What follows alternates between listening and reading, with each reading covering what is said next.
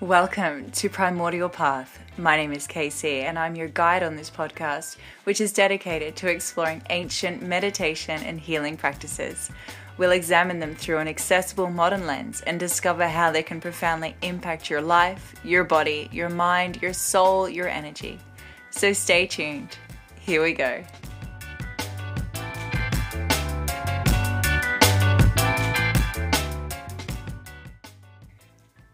Happy New Year, everybody. Well, more like Happy May 2023. Now, I know it's been a red hot minute since I was last on here, but it's been quite a busy time energetically. I'm not sure if you've been feeling it, um, but I'm ready and rearing to get back on track. So, not only am I recommitting to a weekly podcast release, but I'll also be releasing a weekly Monday meditation on Mondays. So stay tuned on where you can access that. I haven't decided on the platform yet. It will be a free meditation each week, a full length one. Um, and I'll also be moving away from a website platform and moving completely to an email subscriber list. There'll be a link to sign up for that in the description of the next episode, which should be next week. Um, and on this new subscriber list, you'll receive regular email from me with more information, as well as direct access to the meditations and any other downloads that may become available, or courses and the like. Um, in the meantime, you can still subscribe via the website and it will carry over onto the new subscriber list when it's active. The website is still active, it's www.primordialpath.co. And today we will be looking at the five elements. This is a really interesting topic and it's fascinating, really. It goes back so far. So, the five elements are traditionally known as Pancha Tattvas and are more commonly known as ether, air, fire, water, and earth. And in the Tantric tradition, we believe that all matter is made up of a mixture of these five elements. So the five tattvas are traditionally called Akasha, which is ether, Vayu, which is air, Agni, which is fire, and Apas, water, and Prithvi, which is earth. So, for our purpose today, we won't think of these tattvas as physical or chemical elements. Uh, we'll think of them more as the esoteric meanings. So, the earth we see around us is not Prithvi, the water we drink is not apas. The fire in our fireplace is not agni. The air we breathe is not vayu, and so on. Instead, these should be seen as a result of light and sound waves that come from different kinds of energy or pranic vibrations. Astrology has shown us that the first four of these elements have a big effect on our personalities, and astrology talks about the mind, emotions, fate, However, it doesn't talk about the ether. Now, ether is the most subtle and important part of a spiritual experience. However, from a tantric perspective, it's made clear that we're made up of these five tattvas and are always affected by them.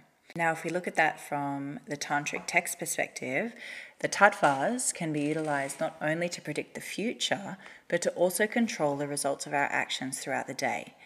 So these five elements or tattvas are connected to each other in a way that each one is based on the one before it. So akasha, which is undifferentiated matter containing an infinite amount of potential energy, is the first tattva to form, ether. So, in its subtle state, Akasha is both energy and matter, which lay dormant in the center of consciousness. Whoa. Now, as the energy in the Akasha particles start to vibrate, movement is made, and Vayu Tattva appears as air. So the particles of Vayu have the most freedom to move. So Vayu Tattva is seen as a motion that affects everything. When there's too much energy movement in Vayu, heat is made. So the heat is what makes the next Tattva, Agni, fire, appear. So the flow of energy is less in Agni Tattva than in Vayu. This slowing down lets the Agni Tattva radiate some of its heat into the Apas or Water Tattva, which cools it down.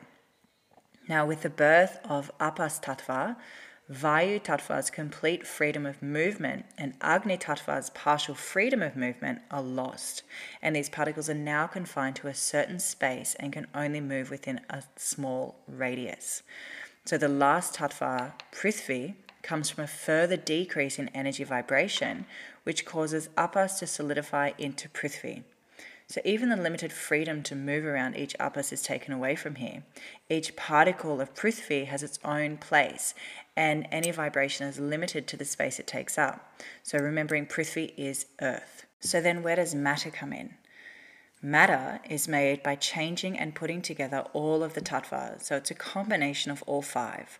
And all of them should be seen as an extension of pure consciousness, not as separate things that exist on their own. It's a blending and merging of the five tattvas. It's important to remember that during evolution, subtle states lead to grosser states, and each grosser state is caused by the element that came before it. So the cause is a very important part of the result. It can be seen that the qualities that are said to belong to the tattvas are mixed together. Each tattva has a main trait, but it also has some of the traits of the tattva from which it came from. So, ether has the property of sound, while air has both the property of sound and the property of touch, but touch is more important. Agni is more about shape, but there is also hints of sound and touch within that fire. So, apas is mostly about taste, but it also has a sound, touch, and shape even though smell is the most important sense in Prithvi. Sound, touch, shape, and taste are also there. So, since Prithvi has a wide variety of senses, it's easy to see that it's the grossest tattva to perceive, while ether can only be felt in the most subtlest form. So, if you think about that, earth has all of the qualities and ether has the least amount. Now, if we think of this from a different perspective, in your mother's womb, these five tattvas, which make up all of the matter within your body, were in their most basic form in that womb space. Their dirtiness needs to be cleaned up, just like crude oil needs to be cleaned up to become petrol, which then leads us to energetic practices called the Tattva Shuddhi, which is like a cleansing practice that cleanses all of the elements together. The goal of Tattva Shuddhi is to make this refinement possible so that the coarseness of the tattvas becomes the experience of the finer tattvas. Under a microscope, scientists can see even the smallest forms of life. So in Tattva Shuddhi, the aspirant is led to a world where matter is seen not in its dense form, but as consciousness. At death, the tattvas that make up the body and mind go back to where they came from. Thus, Akasha returns to Akasha, Vayu to Vayu, Agni to Agni, Apas to Apas, Prithvi to Prithvi, waiting to be made into other things. So, just like that saying, we come from the dirt, we return to the dirt. So, when analysing the tattvas, it's important to note that these tattvas only do their jobs when told by the principle of intelligence, which is another name for consciousness. Without consciousness, these tattvas don't move and aren't doing anything. So, without consciousness, the elements simply don't exist.